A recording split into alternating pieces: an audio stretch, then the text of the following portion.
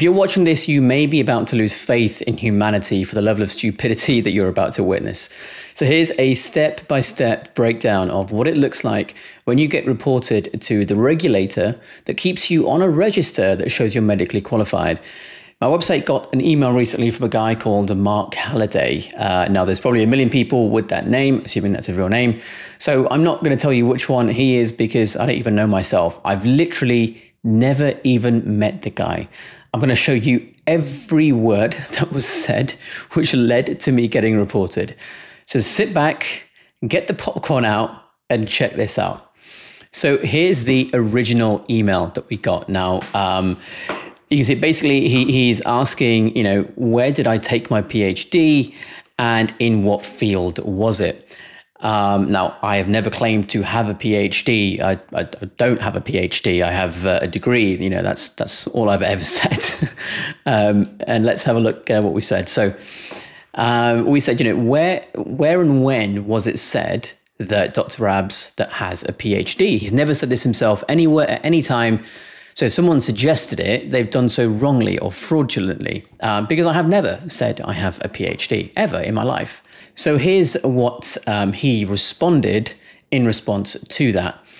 Now he says that you know the title Dr. Abs, so that's not a title. Doctor on its own is the title, uh, given in a medical and healthcare context, directly indicates that he's in possession of a PhD degree at the very least.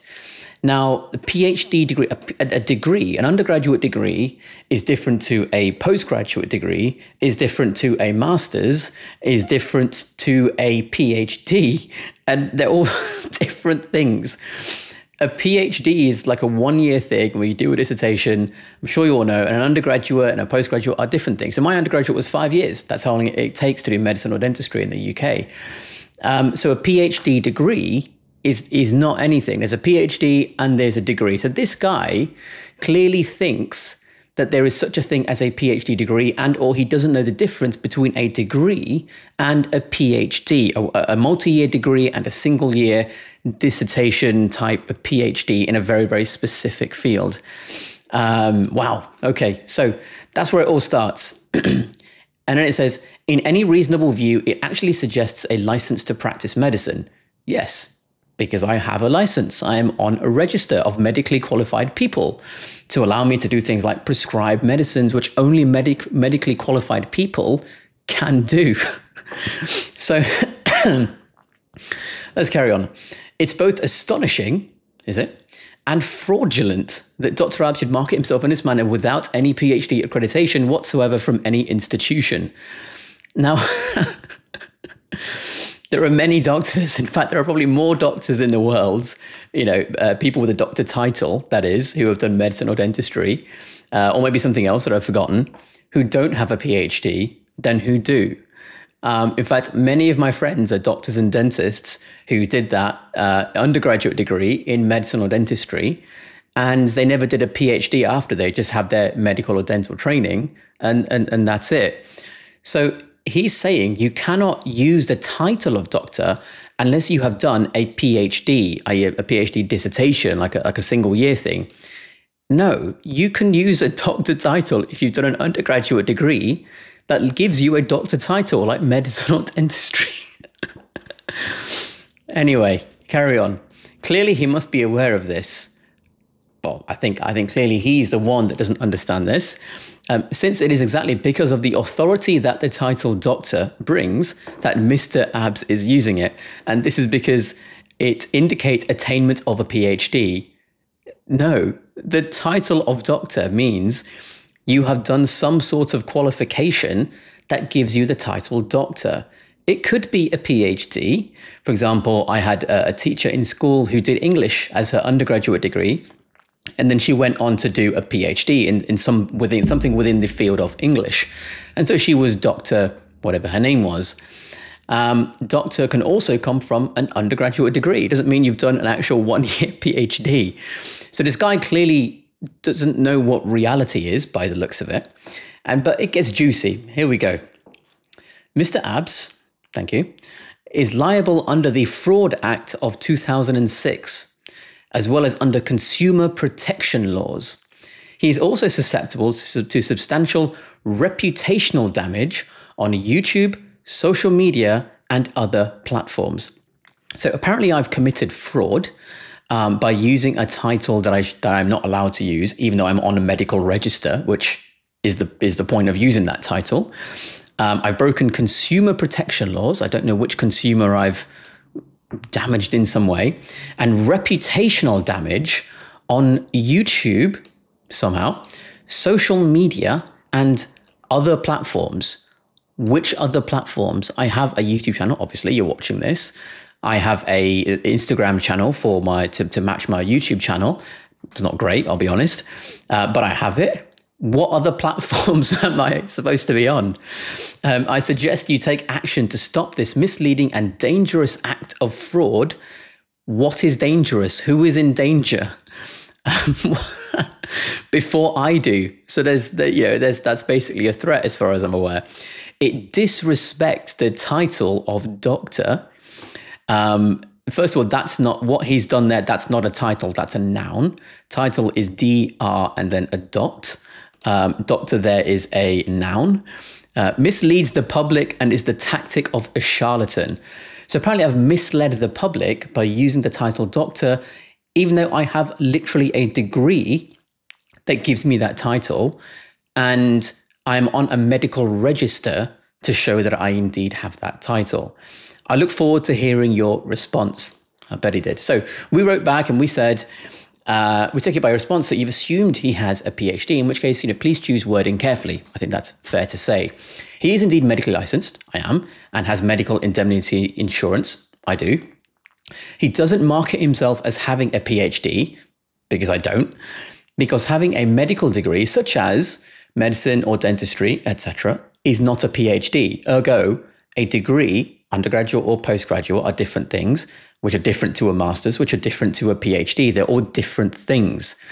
Um, a degree is not a PhD, a PhD is not a degree.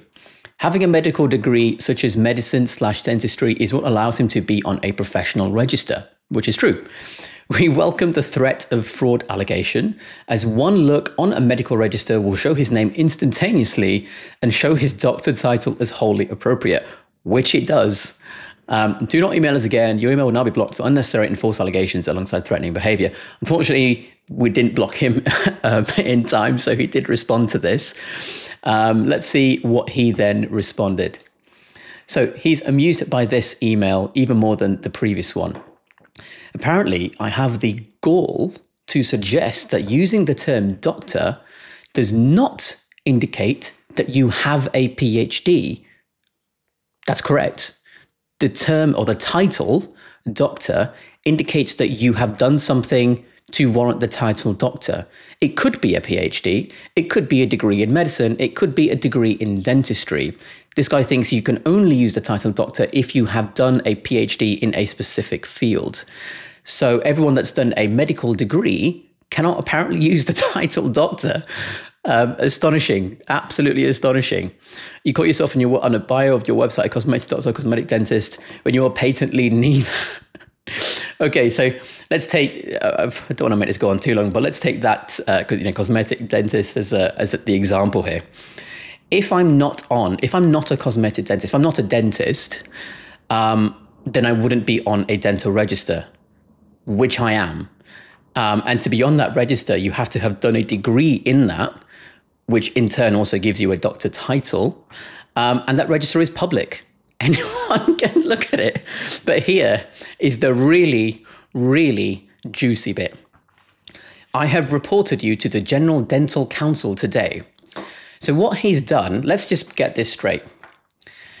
He has reported me to a regulator that has a clipboard with people's names on of who is registered, which includes me because that's a public register.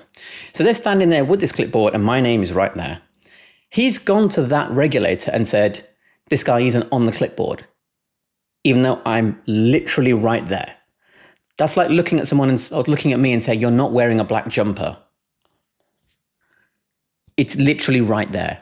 Okay, so if he did report me to the General Dental Council, the same website that he did the report on is the website that has my name on as being medically registered.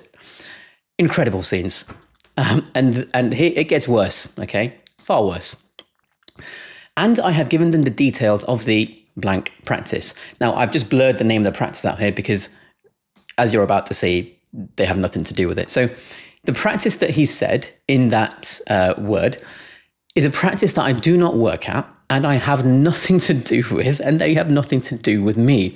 In fact, it's not even in the same half of the country as me. But somehow he's reported a perfectly innocent practice that I don't work at to a regulator. and wait for it. Tomorrow, here we go.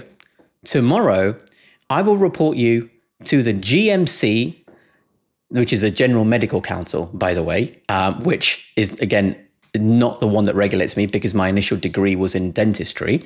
So I'm governed by the General Dental Council instead. Um, but, you know, whatever floats your boat. And wait for this the local police. so apparently, the police are going to get a report that I have gone to university, studied an undergraduate degree that gives me a doctor title, and I have then used that title. What a phenomenal use of police time and resources. Brilliant, brilliant, Mark. Absolutely fantastic use of your mental resources and physical resources as well. And then here we go the NHS. Now, if you don't know what the NHS is, if you're not from the UK, it's National Health Service. It is, um, if you're in the US, I think you have something called Medicare. It's it's roughly similar to that. I think that's probably the closest thing. It's a government um, backed healthcare, it's a government healthcare system that anyone can go and, and get treatment for, whatever you've got. Now, the key is the NHS is not a regulator. The NHS is a service provider that has employees, of which I am not one. I do not work in the NHS, I work privately. I have spent time in NHS departments such as maxillofacial surgery or head and neck surgery, for instance. Um, I don't do that now um, because that's not my job. Um, but he has reported me to an employer that does not employ me. So, no idea what he's expecting there, but let's wait and see. And then he's also reported me, as if it, you know, can't get any more fantastic, to the Consumer Standards Board. Good luck. Well, thank you for the luck, first of all. And Consumer Standards Board, I'm not sure, I might be wrong on this, obviously, because I'm not a lawyer. I'm not sure such a thing actually exists. I think it's trading standards. So I'm guessing this guy isn't from the UK, possibly, because he, he doesn't know that it's it's called trading standards. Um, but there we have it. That is you know, what this guy has, has spent his time doing. I've never met him and he just decides to do this for no reason. Now, you may you find all this hilarious, and I'm sure many of you do. But the thing is, I, I have to deal with this headache now. You know, I have spent all this time giving out free education to anyone that would like to watch it um, on YouTube. And in that, I use my my name and my title that I have legally and validly acquired. Uh, so why not? I don't see anything wrong with that, especially when I'm on the appropriate register for it as well. And someone who I've literally never met in my life has decided to have this amount of lack of brain cells, shall we say. And this is the issue that medical professionals face. You know, people that aren't medically qualified can do things like this and have no consequences, but it's it's of great consequence to the actual professional that has to then deal with it in their own time. Now, if it keeps going, it's actually not a problem for me because then it becomes harassment. And you know, I've got his email, I can pass it to the police if needed. It's it's not a big deal. And if you're really interested in trying to figure out whether I am medically qualified or not, first of all, it's public, like anyone can look it up. Um, second of all, I thought instead of putting the license here on the screen, because technically someone can say it's photoshopped, I thought why not do it in a way which you know you can't say is photoshopped. So here's my advice to you: if you if you really want to check this out, and you can do this for anyone actually, anyone you like, um, just go to the university that I or whoever you're talking about has graduated from, Leeds, and ask them: Did this person graduate from here? With this qualification to make them medically qualified such that they can prescribe medicines, uh, make medical diagnoses, and form medical treatment plans that you can only do with a medical degree or certification or qualification, such as, say, medicine or dentistry. And that way, you're not even taking it from me. And there's nothing to accuse of being photoshopped either. You can hear it straight from the source, uh, direct. So I hope that was entertaining for you. Certainly has been at least a little bit for me. And I'll see you in the next video.